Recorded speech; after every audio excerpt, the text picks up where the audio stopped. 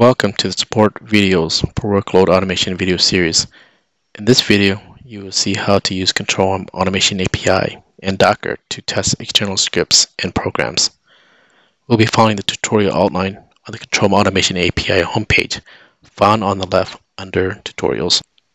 Before we begin, make sure Docker is installed and running. In today's example, we'll be using CentOS 7. A simple test is to run the Docker Hello World image to make sure it's working. You'll need a local copy of the script and programs to be tested. Make sure you have a copy of the Control-M Automation API Quick Start tutorial samples. It makes it easier to deploy a new Control-M agent for testing. You will also need a Control-M Enterprise Manager login that is Control-M Automation API enabled. Let's go to our Docker account and run the Docker Hello World. From the output, we can see that Docker is up and running. Today we'll test a simple script and C program. You can see the two files here. As you can see, it just prints the string hello.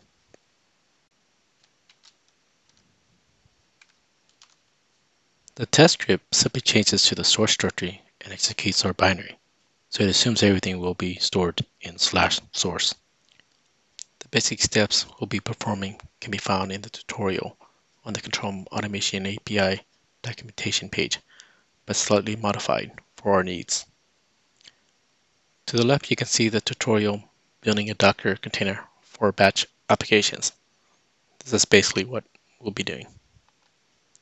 An easy way to get a copy of the tutorial is to use git to clone the repository. The first tutorial has prerequisites, the link to the repository we need. Let's click on it. The link is at the top of the page, so we'll go ahead and copy that. Let's run it in our Docker account. It will take a few minutes to run, so I'll go ahead and zoom ahead.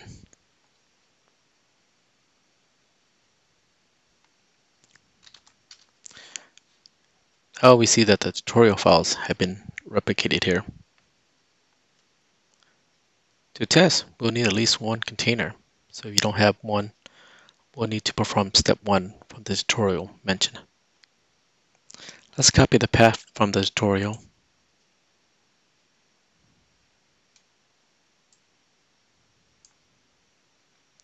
And let's run this change directory.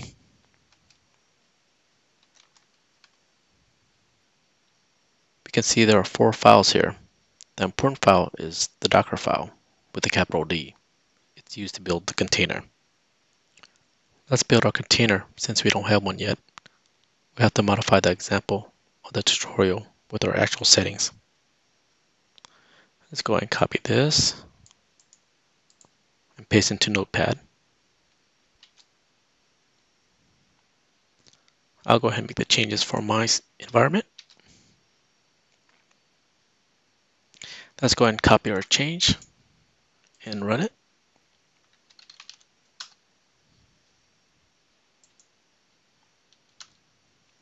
This is going to take a while to run, so I'll go ahead and zoom ahead.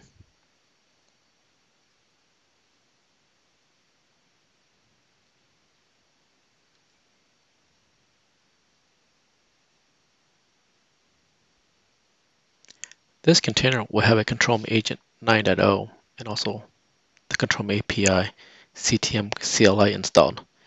If you're interested, you can review the commands used to build up the environment. Uh, you can also make changes to the file to customize your container. For example, you could add commands to install other programs or add custom settings. When it's complete, we can run our test program and script. Let's go back to our home directory where the program was stored. Let's run the program in the Docker image. Like it ran correctly. Now let's add the agent to control server. We'll go and copy and edit this from the tutorial.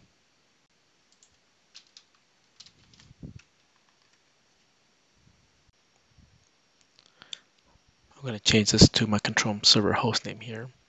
For the host group, I'm going to use Docker test. For the port, 8006. We'll go ahead and copy our changes and execute it.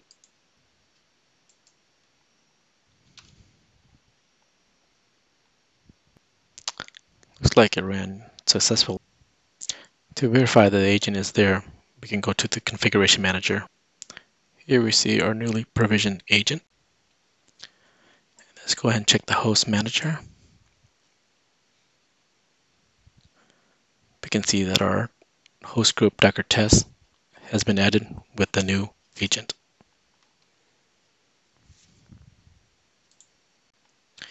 Let's go ahead and define a job to run against this agent.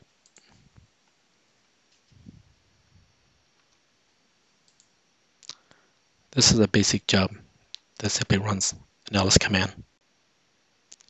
The host group has been set to docker test. Let's go ahead and order this.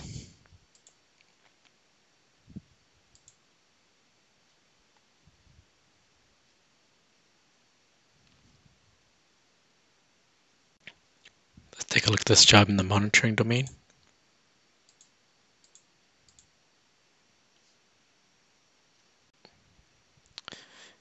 If we take a look at the output, we can see that the ls ran correctly.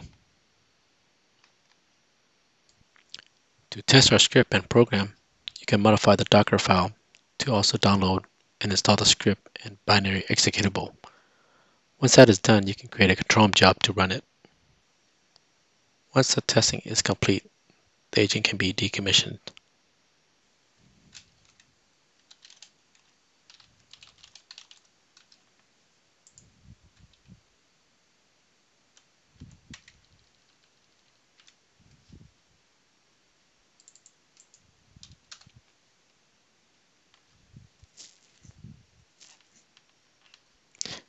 Now we see that the agent has been deleted.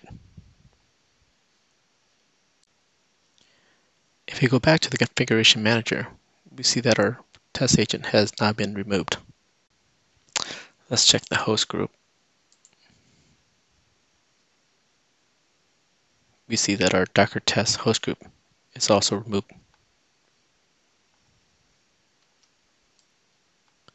Thank you for watching. This concludes this control solution video.